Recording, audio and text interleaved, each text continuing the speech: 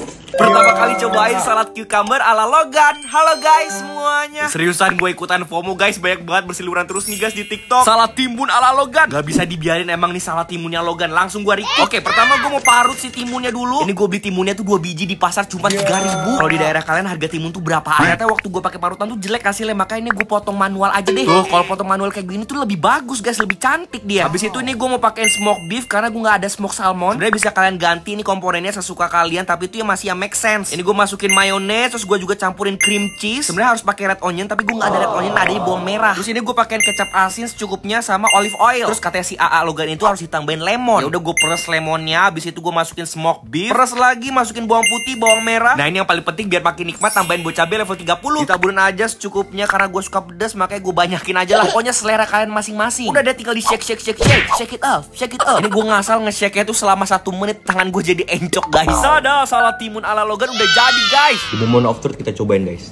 Salad cucumber ala Logan. Hmm.